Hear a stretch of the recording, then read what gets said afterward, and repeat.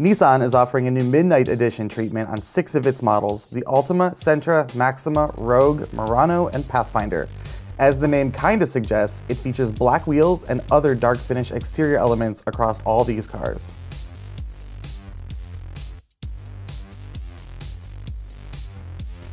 Chevy initially introduced its Redline package on a SEMA show concept and will soon offer it on nine models by the end of 2017.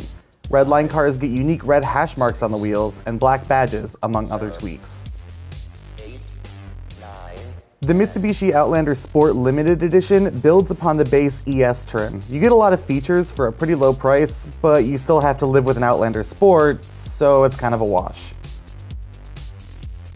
Infiniti bundles a bunch of popular equipment together to create signature editions of both the Q50 sedan and QX80 SUV. The biggest differentiator between these models and the base trims are new sets of wheels on both vehicles.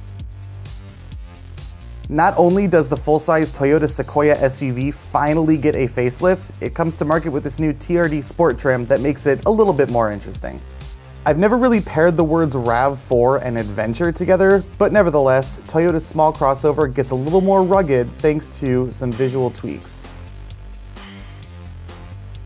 Ram brings a pair of special editions to Chicago with an orange tinted copper sport trim on the half-ton 1500 and a night package on the heavy-duty 2500, which brings black badges to this white truck.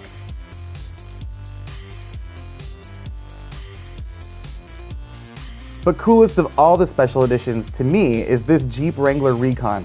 With beefier off-road chops and a really awesome appearance, this is one hell of a proper send-off for this generation of Wrangler.